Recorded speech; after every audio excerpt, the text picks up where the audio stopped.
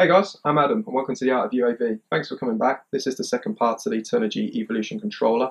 Um, first one we just basically got the receiver into place and the battery telemetry into place. So we're going to be doing the settings inside the controller so it can sponsor with your quad. Also we're going to be going into Betaflight, making sure all them upgrades are done inside of there. And then finally we'll finish on the VLE software to upgrade your ESCs. Uh, if you get lost, just drop a comment below. I'll pick up on that and answer it. But I think the best we can do is get into the computer now and get going. So let's get started. This is going to be cut into different sections. So I'm just going to do a few bits and then we'll go on to the computer side of things. But mainly what we need to get down first is getting these feet on. These actually came in the box with the Eachine Wizard. Basically, we need to get these on here first because once we plug it into Betaflight, it's going to need to be level.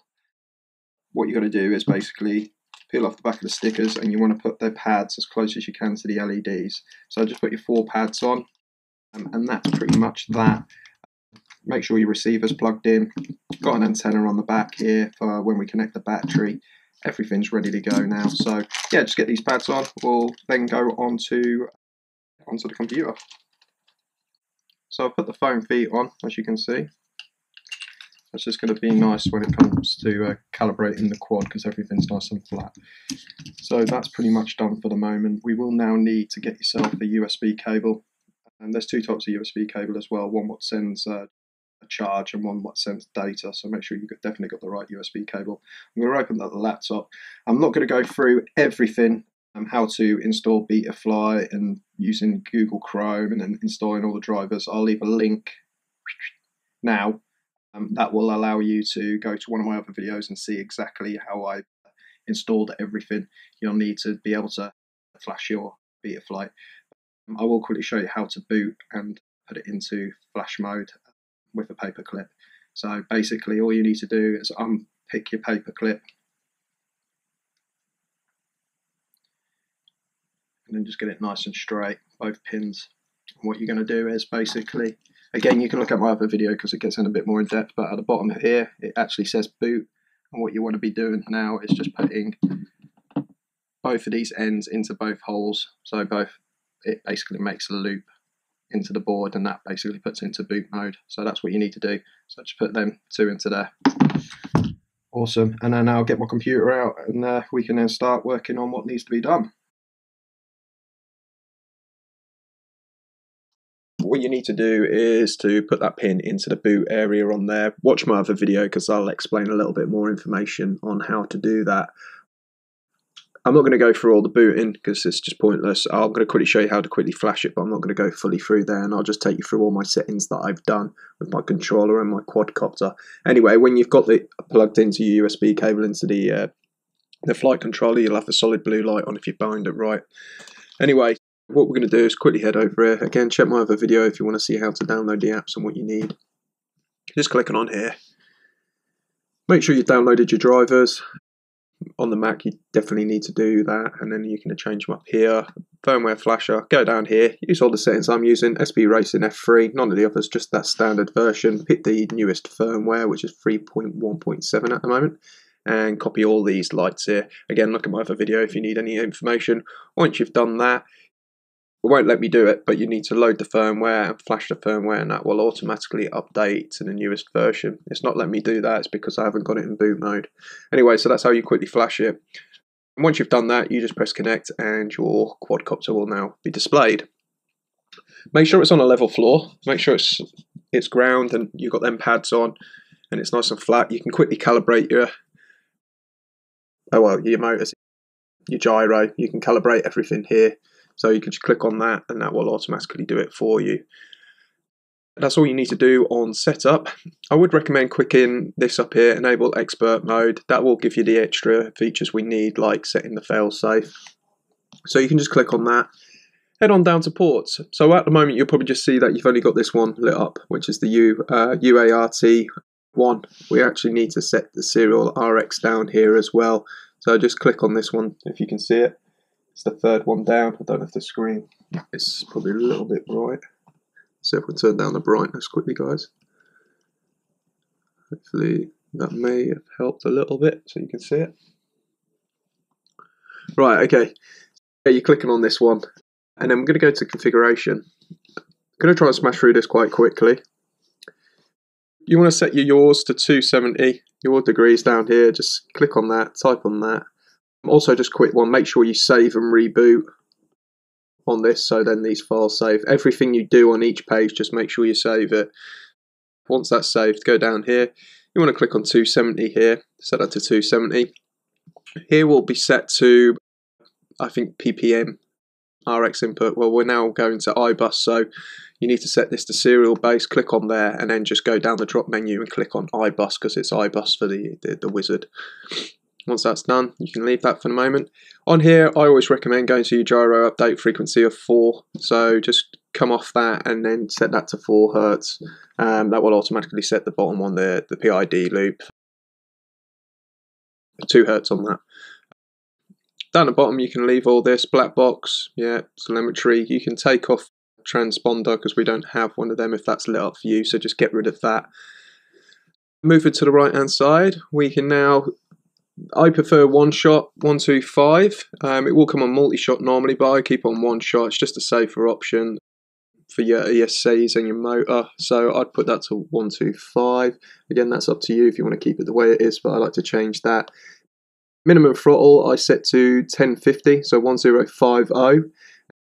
Maximum throttle I set to 1900. That's my perimeters there.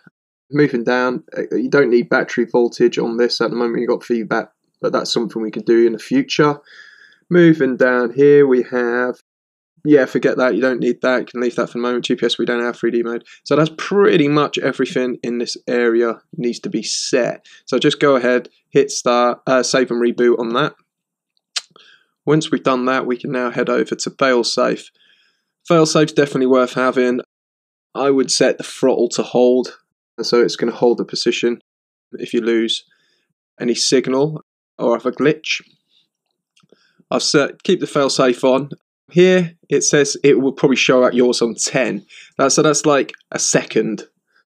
Five is half a second, which is plenty. If I'm going to lose a little bit of, yeah, if I'm going to have a glitch or something, I want that quad to drop as quick as it can. So I've set that to half a second. It doesn't sound like much, but when you're panicking and you really want that to come down, half a second's where you're going to need to be with your failsafe switch, which we'll be setting up shortly you always say it's a drop land. It's just risky. Uh, the propeller still keeps spinning. It's a bit temperamental, so I'd just say drop. It's a strong quad. If it's going to drop from there, it's going to have some, you know, it's carbon. It's probably going to handle the thing. I'd rather just drop it from the sky anyway.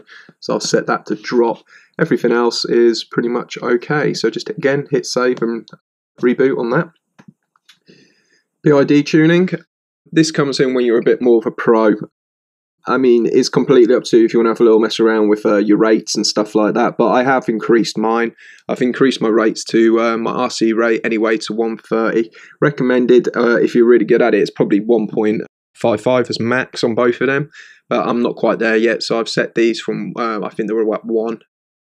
100 to 130 on both. So you just go in there and touch them up, and I'll just give you a little bit more more rate to move with that's pretty much that. We're going to go down to receiver now. So your receiver, you really want to be hitting these all at about uh, 1,500. You'll probably have fluctuations. I'll turn on my controller in a minute and show you. You can then go into the sub-trim menu on the controller, which I'll just quickly turn on anyway. I may need to, do I need to plug a battery in for this part?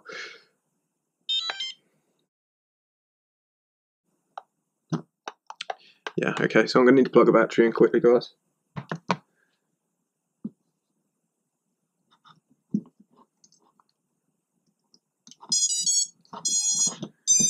Right, battery's in. There we go. So now it's now corresponding. You see this here? It's, it, you probably can't see it on my screen that well, but it's fluctuating between 1499 and 1498. So that's a little bit low. So what you need to do is go into into the menu.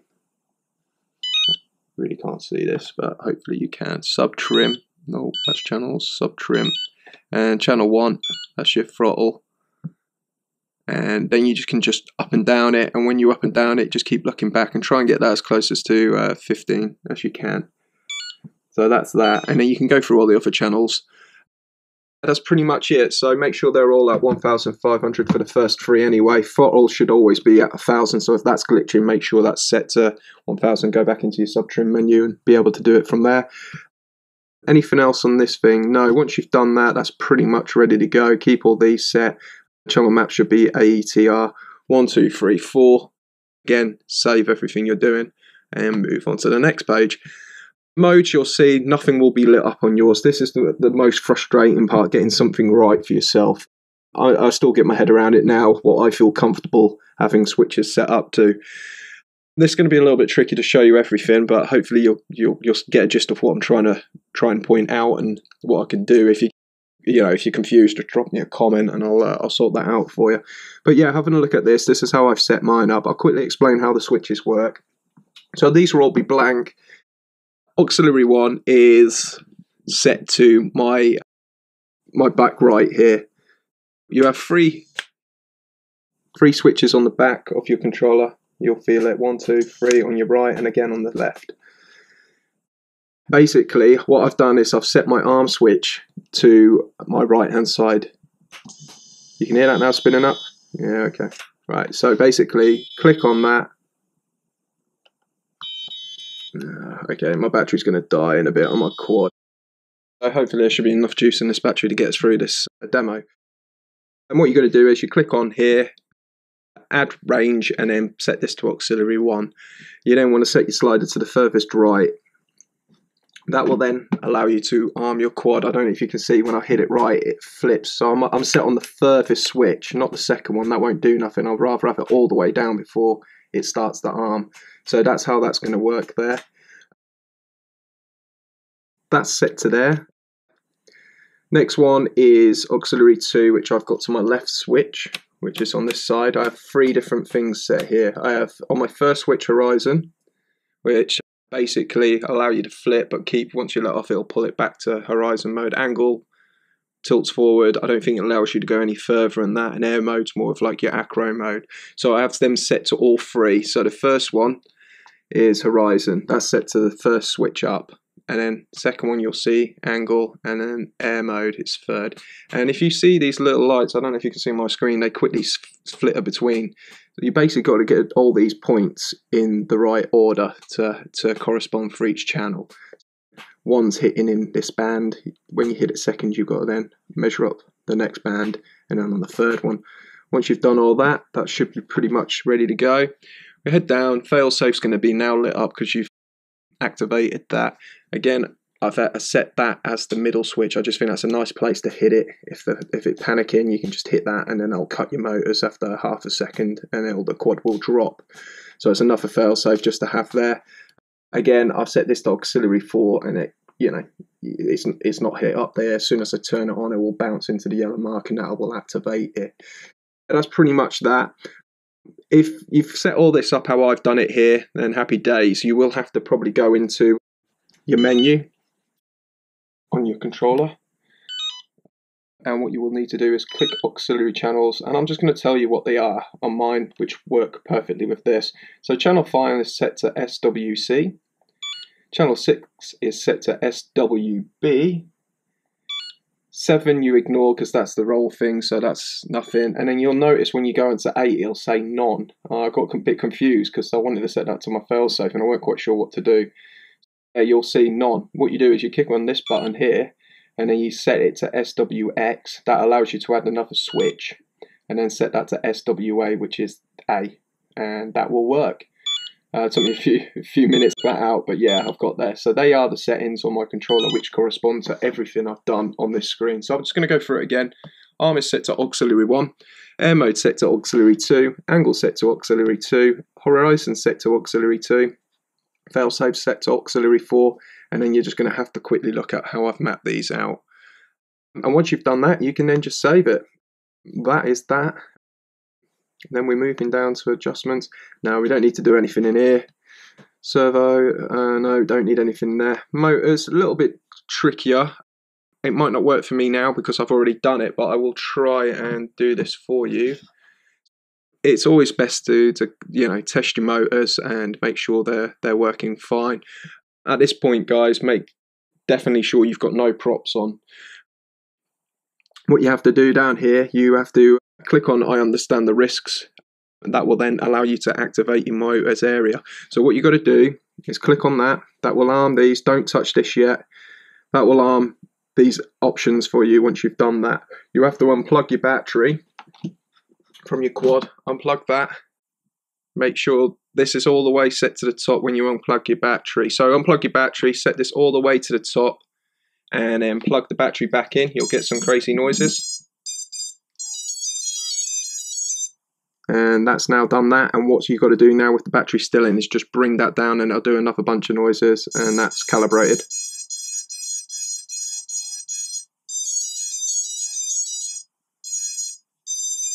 So that is now done. Pretty much everything here is done. There's no other save button here because that's already done itself. I think that's pretty much it, guys. Just literally try and follow this video a few times. I know it's not gone into much detail like I did in the last video, but you can grab some of the information from the other one. There is a few new settings on here um, what I want to try out. Just literally go through, just make sure you've enabled the, the expert mode at the top and then slowly go through everything I've done on here and you should be ready to go. I'm going to stop the video here and then I'm going to move on to the BLHeli uh, software update for your ESCs. I haven't done that yet, so that will be something I'll be doing live with you right now. Let's get on to that and then we'll go from there. Plug your cable back into the computer so it's hooked up to your quad and put a battery in so it's got power to the quad. What you want to then do is head over to Google. You may need to go to the App Store here and you're typing in BLE configurator um, and that will be your app. So make sure you've downloaded that. Okay, you may need to download some drivers. I haven't. They work from my uh, Betaflight drivers, so hopefully that'll work for you. But again, there's some drivers down here in the link. Press connect Okay, make sure propellers are off. Yeah. Connect all the ESCs while they are so ready set up. Okay, so we're in. Let's have a quick look. ESC 1, 2, 3 and 4. Okay, so that's what we're going to be working with. Okay, I'm not going to be messing around with these settings too much, but there is some more settings for you to go into here. By the looks of things, if you're doing a build, you can actually uh, set the reverse mode on some of the motors. So if you need to tell which way it needs to go, I think that's what you can do. But we're actually just going to update the ESCs. Keep it on normal. Uh, yeah, here we go. So you can reverse reverse them, which you're not going to be doing because it's already built and ready to go. So all we want to do is update them. At the moment, it's probably telling you 16.6 is where it's at. First thing we want to do, don't touch anything else, just literally hit flash firmware, select version, Okay, 6.6 I think is the newest one. Yes, 16.6.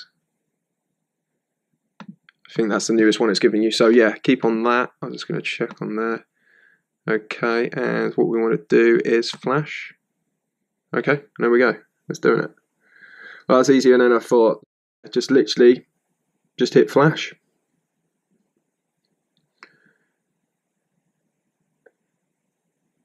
So that's one ESC. Let's go to the next one. Flash. Keep it on the same version. Click on 16.6. Flash.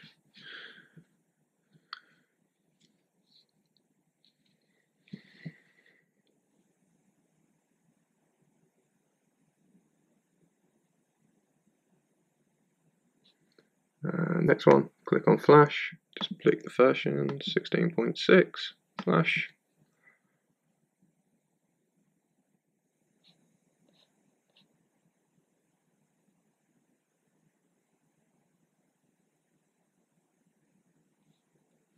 And final ESC, keep on normal, flash firmware version 16.6 and flash.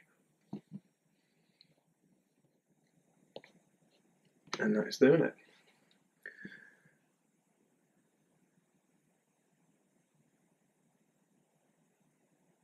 And we are done guys, so that is updated your ESCs literally everything we've done tonight is pretty much ready to go. You can rebuild your quad, put it all back together, and you are ready to, to hit the field and start flying.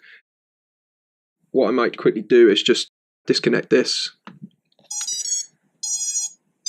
So that's now disconnected. I can close all this down and what I will quickly do is just show you. I'll unplug the USB now because I don't need that. Turn on the controller. Hopefully there's enough battery in there just to get me going. Make sure everything's set to zero guys and what we should have now is as soon as I flick down all the way to the bottom, our arms there. And if I hit this middle bit, it should give me half a second and cut the motors. Yeah, failsafe's working perfectly. Set that back to zero, put all the switches back in. And you should be able to go. There you go. And if you listen,